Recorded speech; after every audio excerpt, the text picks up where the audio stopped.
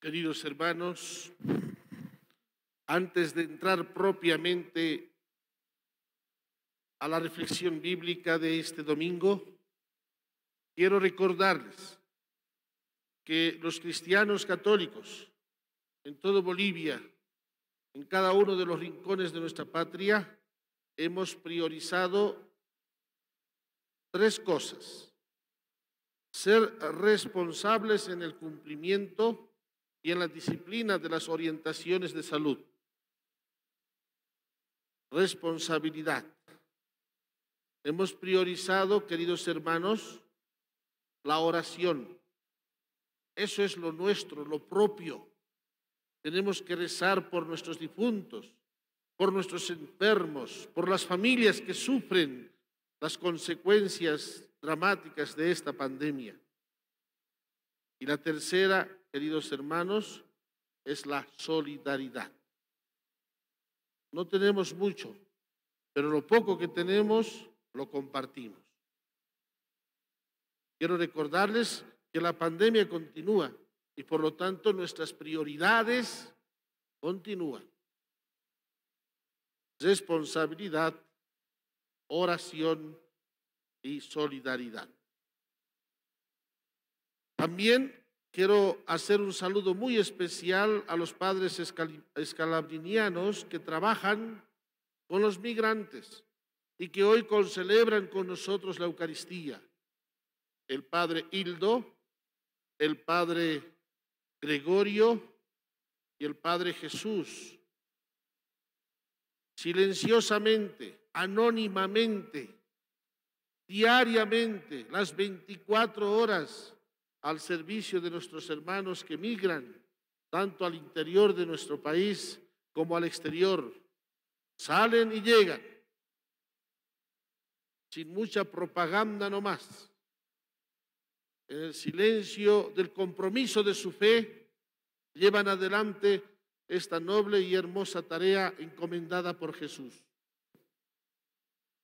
También, queridos hermanos, tenemos que saludar de manera muy especial a todos los hermanos que trabajan por la hermandad entre Bolivia y Alemania, dos iglesias hermanas.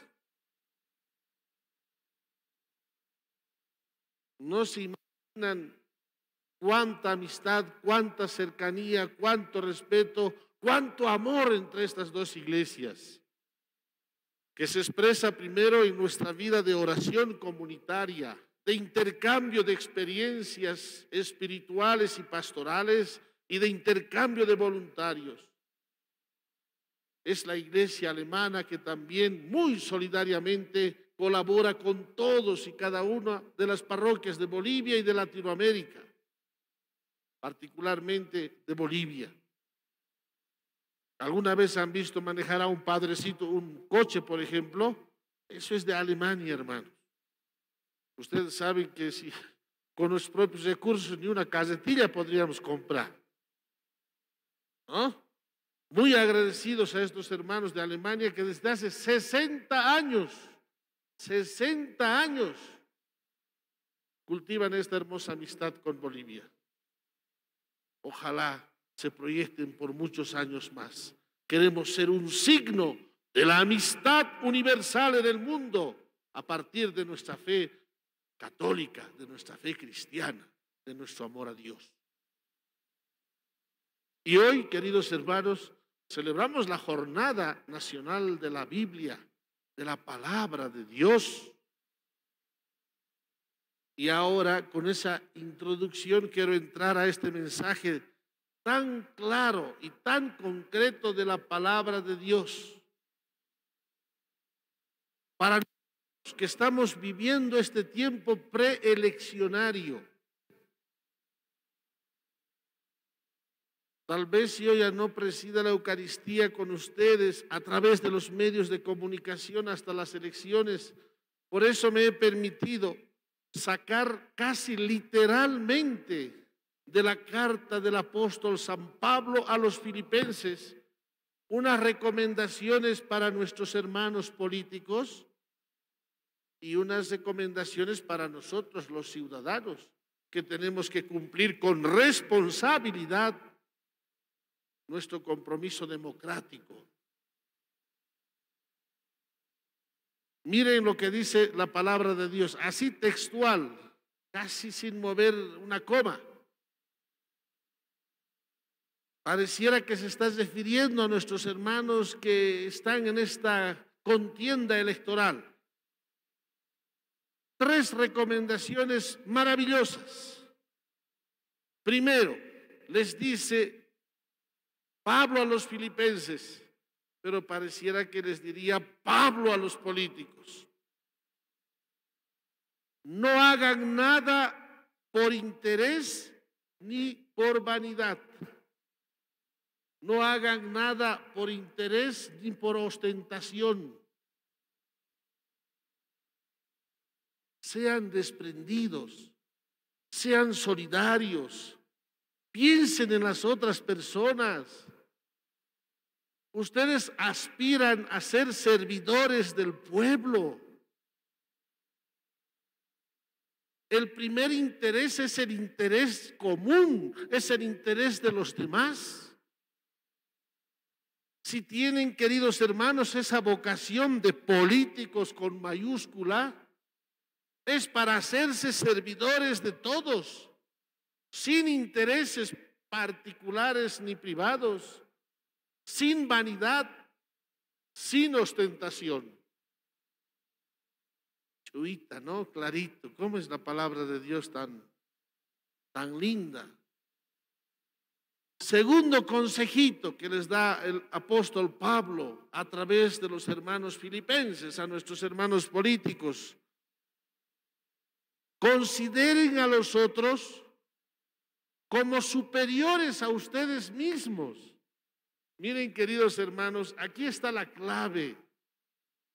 Consideren a los otros, les decimos, recogiendo las palabras de Pablo, la palabra de Dios, les decimos a nuestros hermanos políticos con cariño, con respeto, con amor. Ellos también son igual que nosotros bolivianos y muchos de ellos creyentes en el Dios de la vida.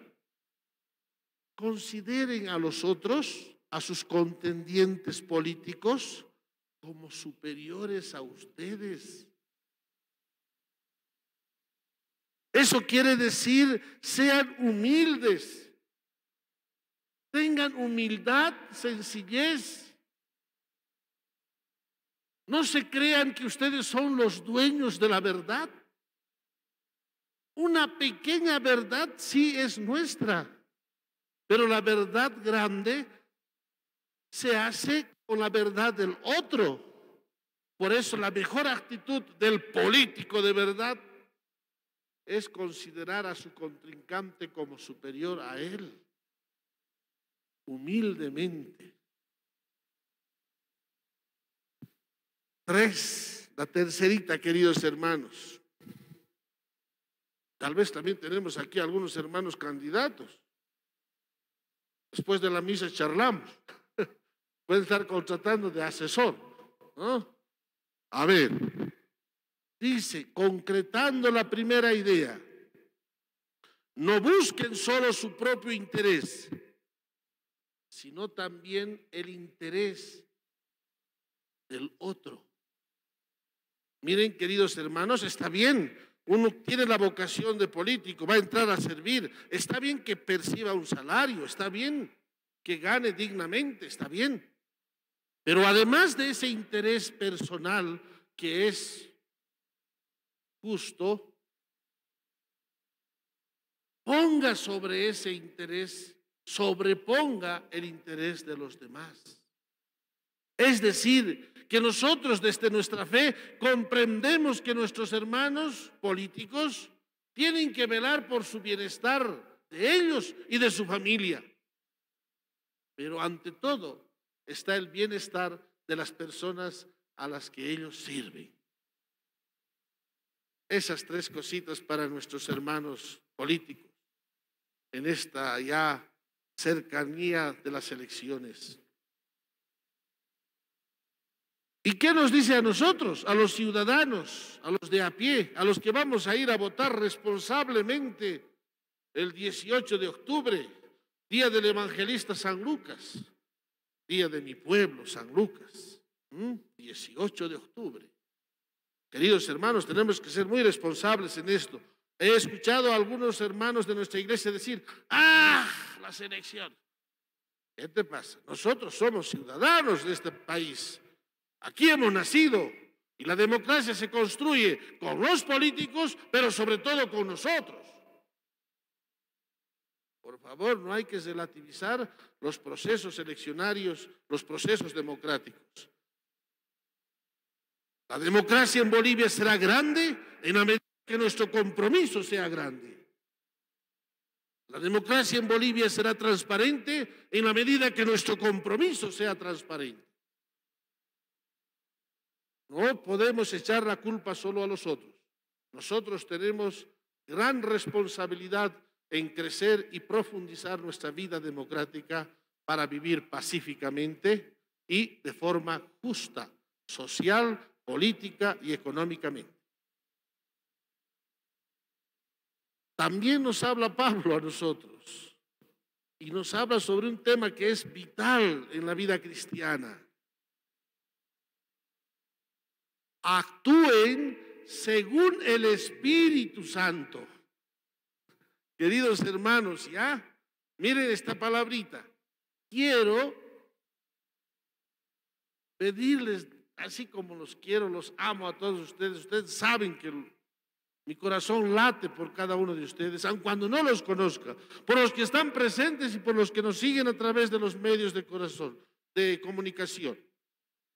Con este corazoncito quiero decirles que se vea que son hijos de Dios en el templo y en las urnas. Tiene que haber relación. Mi discernimiento de mi opción política nace de la iluminación del Espíritu Santo. Mi opción tiene que ser coherente con las indicaciones que Dios me da en su palabra. No puedo ser muy cristiano católico en el templo y en las urnas negar la presencia de Dios al optar por una determinada opción política. Déjense guiar por el Espíritu Santo para esta decisión tan delicada, dice San Pablo. Bueno, y para todas nuestras decisiones cristianas. Dos, y aquí sí yo estoy insistiendo y voy a insistir en todos los rincones donde me toca predicar. Queridos hermanos, Pablo nos los recuerda hoy en su carta a los filipenses. Permanezcan unidos Permanezcamos unidos. Todos los días estamos orando para construir una comunidad, para construir una familia, para construir una iglesia, para estar unidos. ¿Acaso, queridos hermanos, ese trabajo, esa unidad, la vamos a rifar gratuitamente por una determinada opción política? ¿Nos vamos a pelear por nuestros hermanos políticos? ¿Valdrá la pena? Hermanos, hermanas, ¿valdrá la pena dividirnos, pelearnos, confrontarnos por las opciones políticas? Por favor, respetémonos. Si uno es azul, que sea azul. Si uno es rojo, que sea rojo. Si uno es verde, que sea verde. Así es rojo, amarillo y verde, los tres bolivianos. ¿Por qué yo tengo que imponer al otro que piense como yo? ¿Por qué tengo que manipular una institución o un sindicato o una organización social para que piense como yo? Respeto a cada persona, a cada institución y a cada organización. Pero también yo me hago respetar. A ver que alguien me diga a mí por quién tengo que votar. Se va a llevar una gran sorpresa. Tengo que respetar y hacerme respetar. Pero no rifemos nunca nuestra unidad construida en la fe y en el amor a Dios. Es la identidad de nuestra fe cristiana. ser familia, ser iglesia, ser comunión. Y finalmente, queridos hermanos, este Pablo, sabio hombre, yo tengo mucho deseo de ir al reino de Dios, al cielo, para irme a sentar a su lado del Pablo y escuchar. Seguro que ni hambre me va a dar allá por, escucharlo a Pablo. Este Pablo que hablaba todos los idiomas, hasta el español hablaba. Entonces en español le vamos a meter nuestras charlas. ¿Mm? Dice este hombre, miren, qué tan lindo si es la primera carta, esta carta a los filipenses que hemos leído hoy. Tengan un mismo amor, un mismo corazón, un mismo pensamiento. Qué cosa más linda, ¿no? Todo el ser humano nos está hablando de defender la unidad con todo nuestro ser, con nuestro corazón, con nuestro pensamiento, con nuestro amor, con todo lo que somos, integralmente, de punta a punta. Defender la unidad con un mismo amor, con un mismo corazón, con un mismo pensamiento. Ante todo, somos familia, somos hijos de Dios, somos iglesia y no vamos a entregar ni vamos a poner en peligro jamás esta unidad de nuestras familias, de nuestros departamentos, de nuestro país. Y lo vamos a hacer con la fuerza del Espíritu. La vamos a defender hasta que tengamos el último aliento de vida. Que así sea, queridos hermanos.